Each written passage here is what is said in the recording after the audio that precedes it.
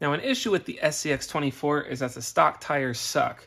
They look really cool, but the sidewalls are stiff, there's not that much traction, so I want to see if I could change that. Now the tires aren't that expensive, it's the wheels that can be pretty expensive. And it could probably be a little off-putting for those new in the hobby who don't want to put a whole bunch of money into their rig quite yet, but still want to get some performance. So I want to see if I can make these stock tires better. So I have a boulder out front. What we're going to do is run the stock tires and my Proline Hyraxes on four lines I have, and we'll see how well these two tires do against each other. I know these are going to not do well.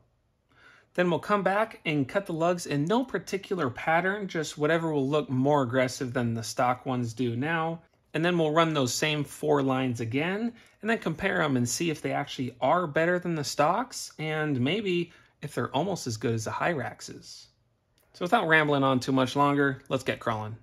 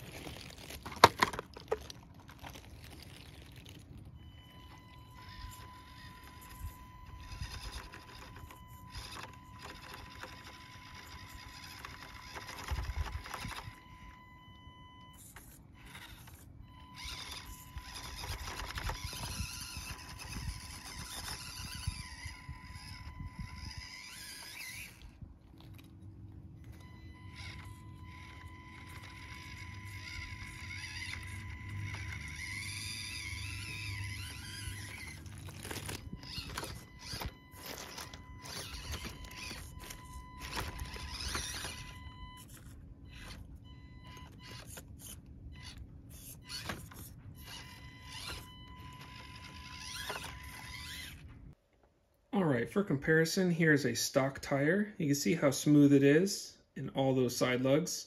I decided to cut the side lug at this long bar here, as well as these two longer bars, leaving these smaller lugs. And you get a bit of a zigzag pattern. More aggressive looking sidewall there. And as an added benefit that I wasn't expecting, after cutting all these lugs off, the sidewalls actually seem to have a little bit more flex to them and the flats seem to be a little more pliable as well. So not only have I increased the traction, but I think I've increased the flexibility of this tire over the stock, which is going to form to rocks better, give us a lot more bite. And so I'm actually kind of excited to use these, see how well they do. So I got two more of these to cut into this pattern, and then we'll go hit the rocks and see how much better they do.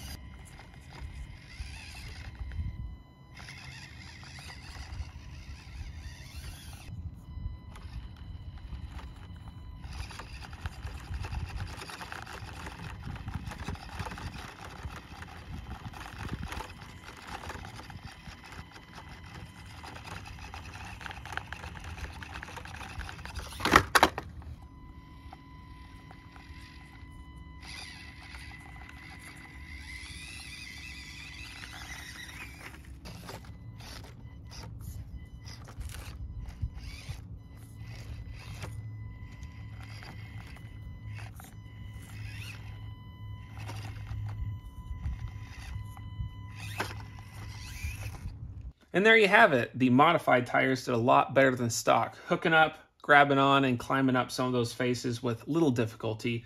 However, still was a tall order to try to beat the Hyraxes, which it did not, I don't think, but came pretty close. The Hyraxes are pretty darn good.